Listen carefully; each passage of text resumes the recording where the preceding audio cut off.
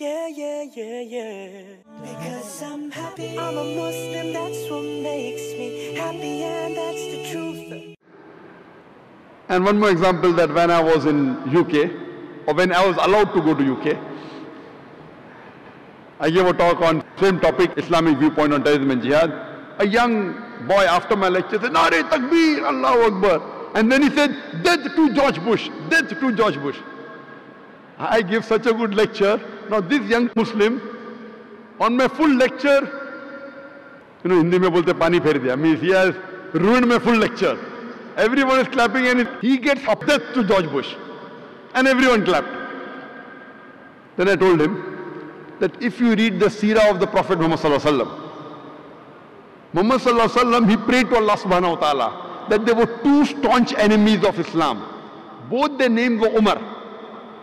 So a prophet prayed to Allah subhanahu wa ta'ala that at least give hidayah to one Umar. And Allah gave hidayah to Umar bin Khattab. May Allah be pleased with him. Who became the staunchest supporter of Islam. So I pray to Allah that give hidayah to George Bush.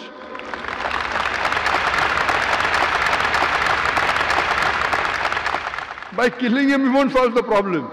I pray that give hidayah to one of the two, George Bush or Tony Blair you read the seerah of the Prophet rather than be emotional. You know, Muslims get emotional. If you read the seerah of the Prophet, you know how did the Prophet deal with things. We were taught beautiful things by this man. Prophet Muhammad, may peace be upon him. He taught us to love and to care for each other. That is the sunnah of the chosen one. Him for